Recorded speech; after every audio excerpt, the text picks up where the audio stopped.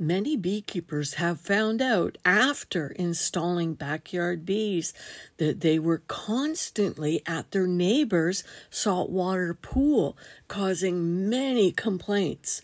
You can check this out online yourself. It's true that bees love salt.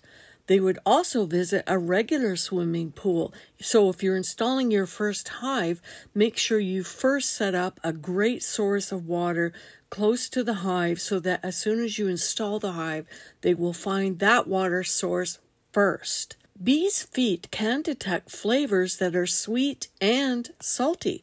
Bees need salt for their metabolic processes, much like wild animals, and they will carry it back to their hives in their honey crop.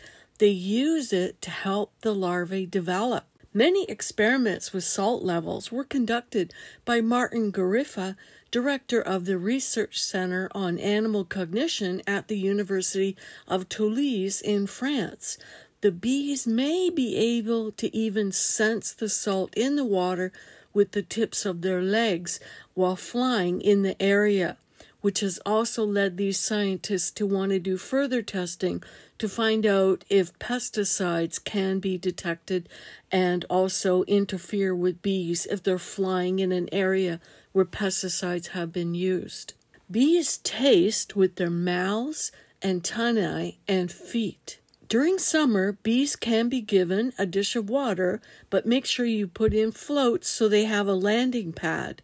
The salt levels can be between 0.15 to 0.2% table salt added.